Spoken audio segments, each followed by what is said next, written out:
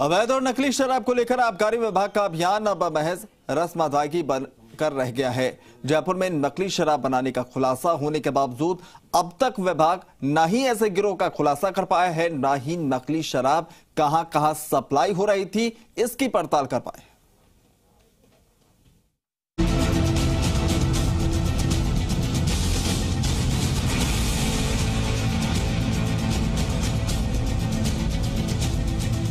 राजस्थान में अवैध और नकली शराब का कारोबार धड़ल्ले से चल रहा है।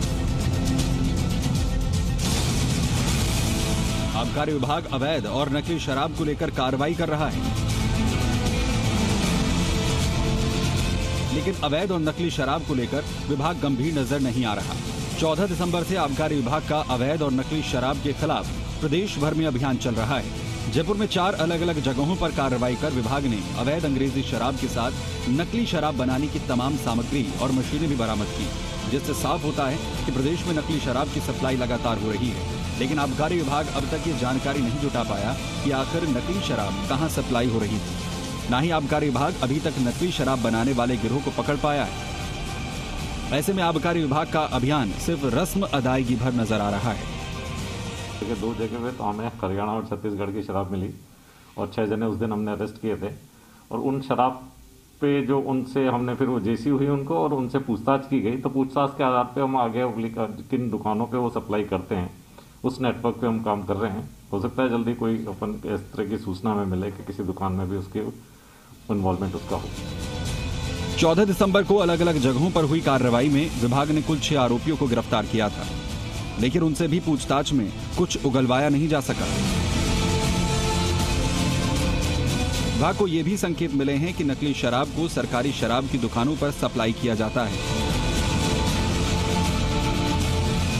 आबकारी विभाग के डीओ सुनील भाटी ने बताया कि इस मामले में जाँच की जा रही है। और अगर किसी शराब की सरकारी दुकान पर नकली शराब की बिक्री के बारे में जानकारी मिलेगी तो कार्रवाई की जाएगी। किसी दुकान में अवैध रूप से कोई अवैध शराब पाई जाती है और उसके सत्यापन हमारे जो लैब है उससे सत्यापन हो जाता है तो तुरंत उसको क्या नाम दुकान को जो है सस्पेंड किया अभी हमने जो हमको लगा था उसमें से हमने करीबन आठ दस दुकानों से सैंपल उठाए हैं।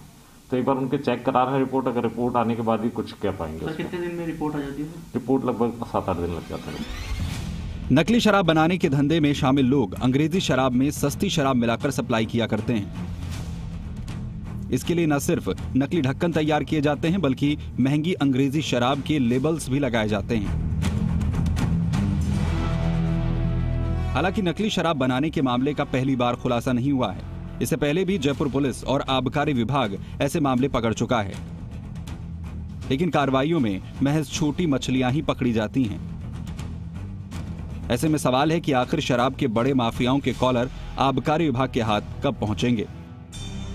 दीपक गोयल जी मीडिया जयपुर